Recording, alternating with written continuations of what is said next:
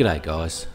I mentioned in my last video that I'm building a new kitchen at home and before I get started I need to upgrade a few tools to make the job easier.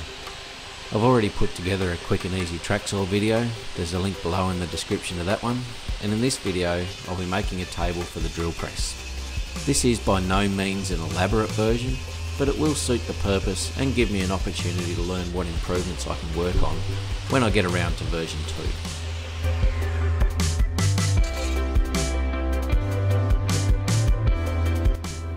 I'm using melamine because I already have a few sheets here ready for the kitchen build and after settling on a size of about 600 by 400 millimeters I cut the tabletop. Then I marked the centre on the original table and the new tabletop before using a point of a countersink bit to line them both up.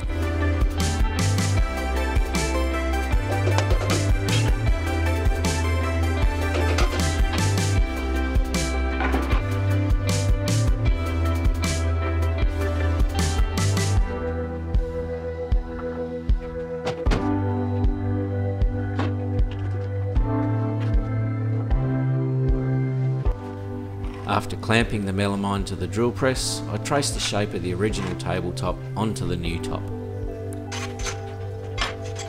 The next step is to extend the lines out I had just marked, making sure the gap is exactly the same at both ends.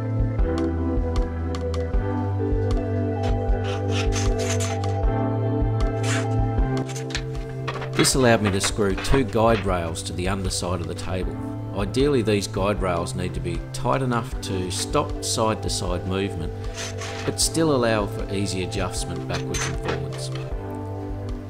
I've extended the rails past the end of the tabletop to help reduce slop when the table is adjusted in its forward position.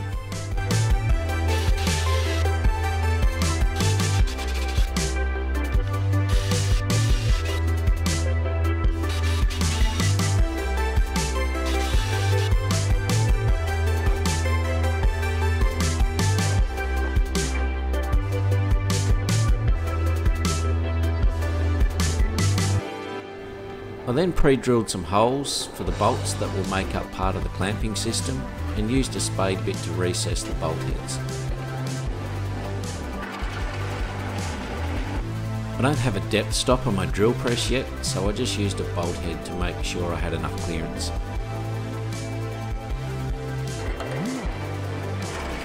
I've drilled two sets of holes so I have more adjustment in the clamping setup. This way I can use either set of holes depending on where I need the fence located.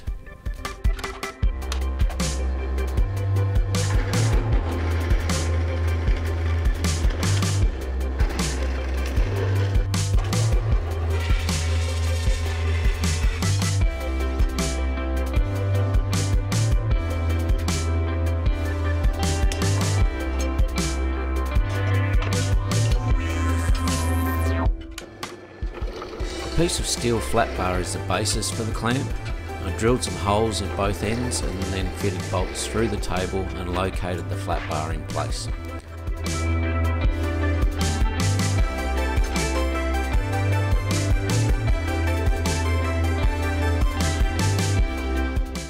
I then screwed the nuts on and tack welded them to the bar. Welding them is not completely necessary, but it does make it easier to adjust the table position by loosening the bolts from the top without having to use a spanner or a socket from underneath as well.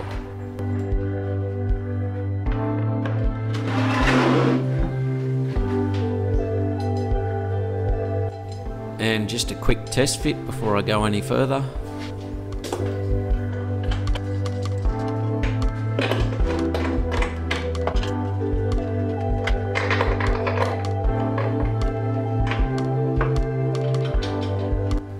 So the last thing I need to do is fit the fence and I used a scrap piece of aluminium angle I had lying around.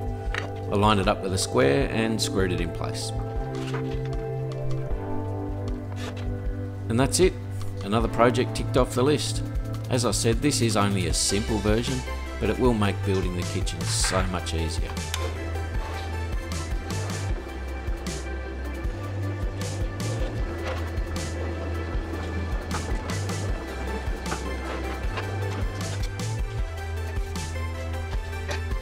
Thanks again for watching.